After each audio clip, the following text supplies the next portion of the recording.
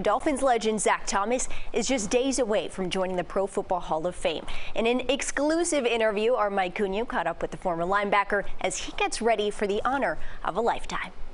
Number one is number one. Love what you do. That's it. No one loved what he did more than Zach Thomas, and today he got to share that passion with his family, his wife, young kids, and parents toward the Pro Football Hall of Fame. He relived memories both on and off the field. I love that they put Camp Base Balad there. We played a flag football game in Iraq for the troops. And, uh, Jim Kelly threw a Hail Mary at the end of the game and they won, but uh, such an awesome experience.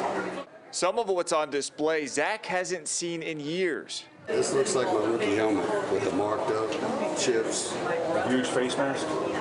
Yeah, I didn't like those. Tony Egues had to get on it with that because I like them thinner because they could sometimes when you're not in your same laser focus, you could see the bottom bar. Never liked that. So I didn't like those thicker ones. Other members of the Hall of Fame bumped into Zach on his tour, like 2023 classmate Joe Klecko and his son Dan, who also played in the league. This is my son. Your son ruined my son's career. Here he is. Oh, man. Every time, let's run another ISO. I'm like, no, man, I'm done with that. One of the highlights was number 54 bumping into another number 54. Appreciate coming all the way to the camera, man. That's. Thank you so much. Trip.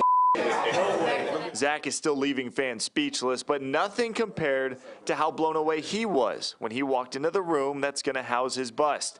You can't help to admire the reverence he has for the other men in this building. You know, that's when it, it, it definitely uh, hits you. Seeing all these great players, and a lot of these guys you know because they played in your era, even before you, you know, or, or you're as a kid. You know, they uh, definitely influence you. And uh, so being here with a lot of these guys, it's a wrap. Davis. So you, ta you tackled a lot of guys, too. Yeah. On Saturday, Jimmy Johnson will introduce Zach Thomas for his speech. That'll last about 12 minutes, and yes, it's going to be emotional. There'll probably be plenty of tears there, but once that's over, his big brawn bust will make his way back here to the Pro Football Hall of Fame, joining football immortality. In Canton, Mike Cugno, CBS News, Miami.